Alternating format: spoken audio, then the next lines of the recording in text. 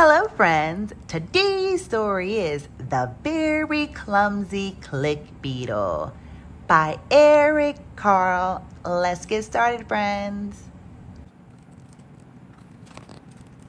The Very Clumsy Click Beetle. One fine morning, a young click beetle decided to go for a walk. At noon, it climbed up and down a flower. In the afternoon, it rummaged through a pile of pebbles. In the evening, it crawled among the tall blades of grass.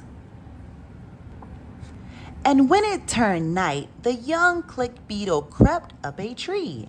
After a while, it got tired and fell to the ground. It landed on its back. The young click beetle tried very hard to turn over onto its feet, but it couldn't. Help! It cried. All along, a wise old click beetle had been watching the young click beetle. Tomorrow morning, I will teach you how to click and flip through the air and land on your feet, said the wise old click beetle. In the meantime, you may as well go to sleep. Good night. The next morning, the wise old click beetle said, Look at me. This is how it's done. First, it turned onto its back, and then with a loud click,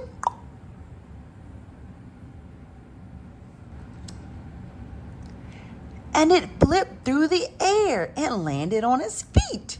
Now you try, said the old wise beetle. Thank you. That looks easy, replied the young click beetle. Just then, an earthworm stuck his head up out the ground. Look at me, said the young click beetle. And with a loud click, it flipped through the air. But it landed on its back. How very clumsy a beast, said the young click beetle. Just then a turtle ambled by. Better luck next time, said the turtle. Keep trying. Look at me, said the young click beetle. And with a loud, it flipped through the air, but it landed on its back. How very clumsy of me, said the young click beetle. Just then a snail slithered by. Don't worry, said the snail. You'll get there. Look at me, said the young click beetle. And with a loud click, it flipped through the air, but it landed on its back. How very clumsy of me, said the young click beetle. Just then a mouse scurried by. You need a little more practice, said the mouse. Look at me, said the young click beetle. And with a loud click, it flipped through the air. But it landed on its back. Just then, oh, what was this? The young click beetle had never seen anything so big. It could not move. It was scared. Quick, click, flip, cried the wise old click beetle who was watching.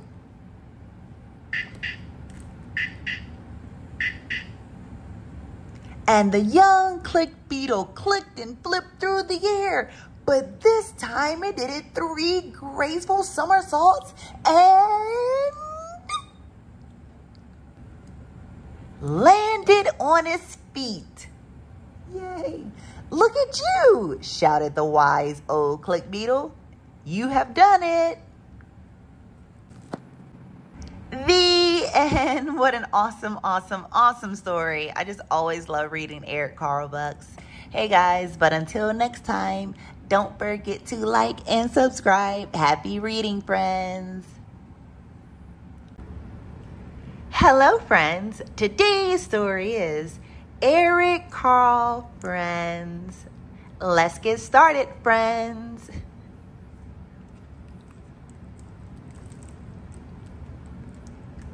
Once there were two friends who were always together, but one day the boy was all alone. His friend was gone. For Bobby, Eric Carle friends. Is that a bouquet? It's beautiful. Once there were two friends who were always together.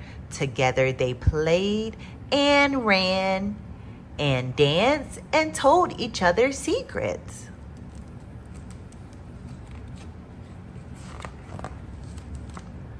But one day the boy was all alone. His friend was gone. She had moved far away. I miss her, he said. Wherever she is, I must find her. Then he took a deep breath, counted to 10, and one, two, three, four, five, six, seven, eight, nine, ten. jumped into the swift river. The water was cold. The river was wide, so it took a long time to swim across it. When he got to the other side, it was already dark. The stars washed over him as he fell asleep.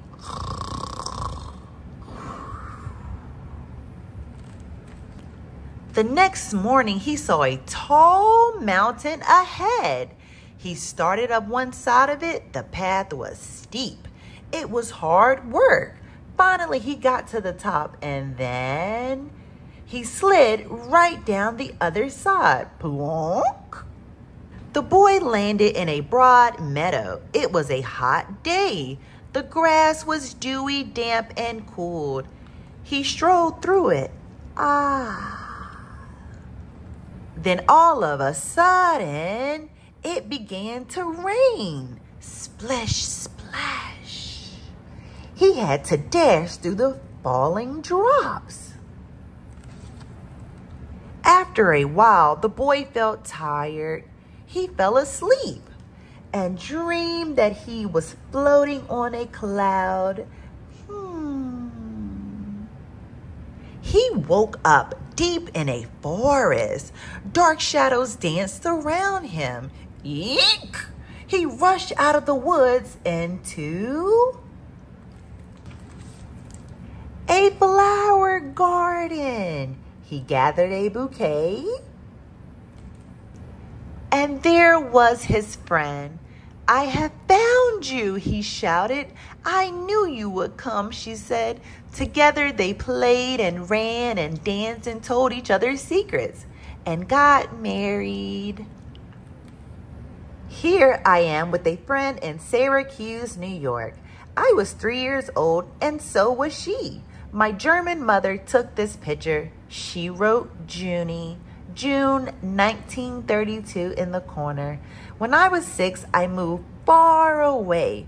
We never saw each other again. I often think about my long ago friend and I wonder what happened to her. Hmm. Eric Carle and his wife Barbara, Bobby, had been married for quite a long time. This happy fact was one of the primary inspirations for this innovative book. Born in the United States, Eric Carle was taken as a six-year-old child by his parents back to their native country, Germany. Later, he studied at the Akademie der Bildung Kosunic Academy of Applied Arts in Stuttgart and returned to New York in his early 20s as a graphic designer and artist. His many picture books are now known and loved by children around the world.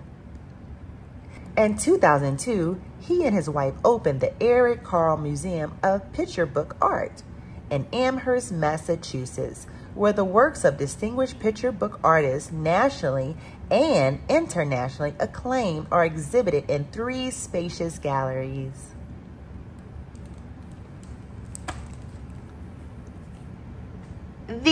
End. What an awesome, awesome, awesome story. Don't we just love Eric Carle? But until next time, friends, don't forget to like and subscribe. Happy reading.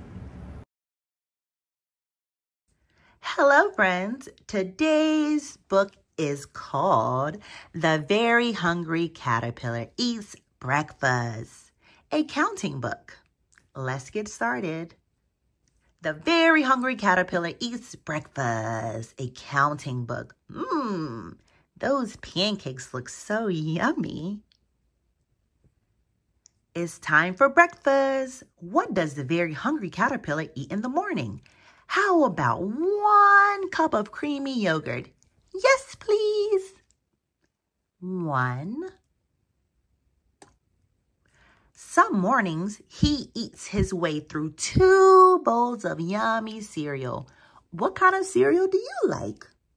Hmm, my favorite cereal is Cheerios. Yummy. When he wants something sweet, he nibbles through three pastries. What's your favorite sweet morning treat? Mmm, I see a sconce, a muffin, and a croissant. Mmm. Does he eat bagels for breakfast? Yes, in fact, he tries four. Two with C's, one that's sweet, and one that's topped with everything. Can you guess his favorite? Is it poppy seed, sesame, cinnamon raisin, or an everything bagel? Wait, are those onions for breakfast? He snacks on five. Anything can be breakfast when you're the very hungry caterpillar. Let's count the onions. One, two, three, four, five. Five onions. How about some eggs? He tries them six different ways, enjoying every bite. How do you eat your eggs? Fried, omelet, hard-boiled, egg in a hold, scramble, frita. Some morning, he's so hungry that he crunches through seven pieces of toast, all with different toppings. What do you put on your toast? Avocado, peanut butter, jam, chocolate hazelnut spread, mmm, butter, cream cheese, and tomatoes or cheese. Let's count the pieces of toast. One, two, three, four, five, six, seven. Seven pieces of toast. Mmm, something smells good. Eight foods cooked on a hot skillet. Some are sweet, some are salty, but they're all delicious. Which one would you like to try? Pancakes, baked beans on toast, biscuit, bacon, sausage, hash browns, French toast, mmm, waffles. Let's count. One, two, three, four, five, six, seven, eight. Nine juicy fruits make a colorful breakfast. He eats through each one. Yum pear, orange, strawberry, pineapple, banana, blueberry, grapefruit, cherry, kiwi. Let's count the juicy fruits. One, two, three, four, five, six, seven, eight, nine. Together, the very hungry caterpillar and some friends eat 10 of his favorite foods. Now that they're ready to start the day, what would you like for breakfast? Mmm, everything looks so yummy and delicious. I think I would like the everything bagel. That one looks really, really tasty. Let's count.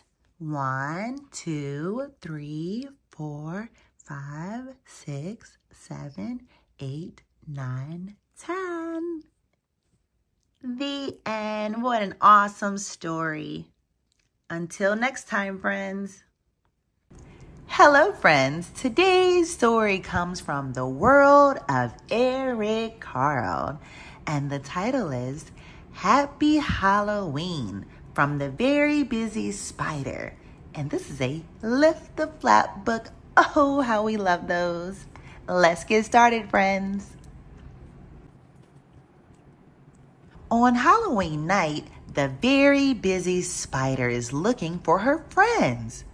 Who does she see flying high in the sky with the stars and the clouds having a very good time? Who could it be? A hooting owl.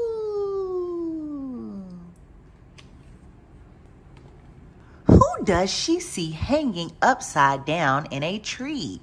Who flies throughout the night as fast as can be? Who is it? a friendly bat.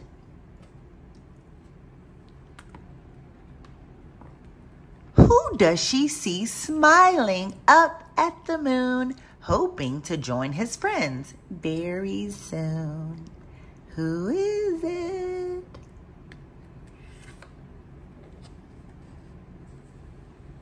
A kind fox.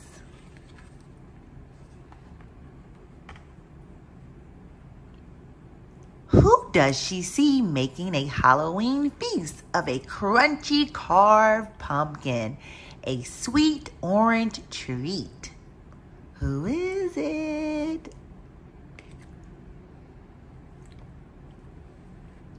The very hungry caterpillar. Hi, Mr. Caterpillar.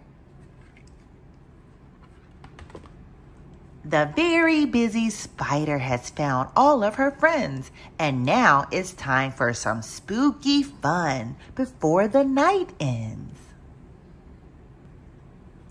Trick or treat.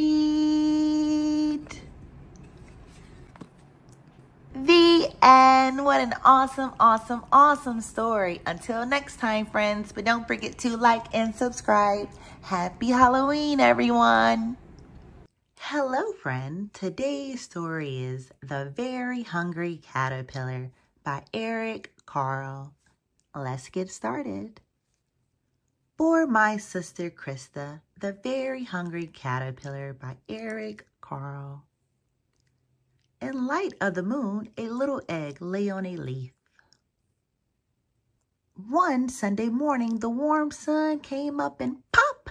Out an egg came a tiny and very hungry caterpillar. He started to look for some food. On Monday, he ate through one apple, but he was still hungry.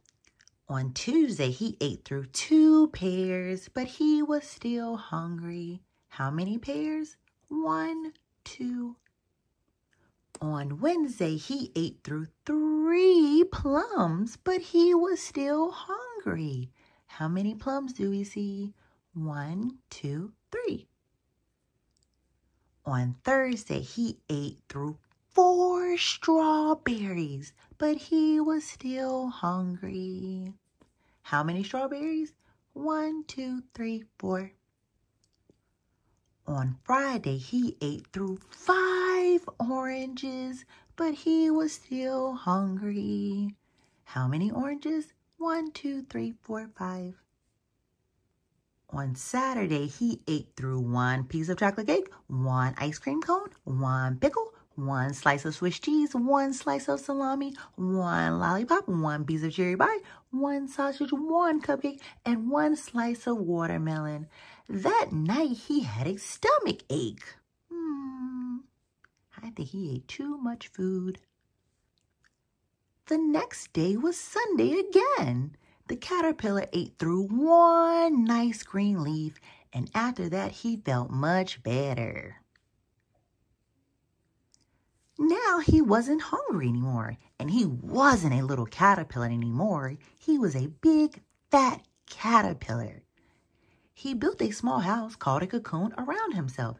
He stayed inside for more than two weeks. Then he nibbled a hole in the cocoon, pushed his way out and he was a beautiful butterfly. Oh, he's so beautiful. The end. What an awesome, awesome story. Until next time, friends.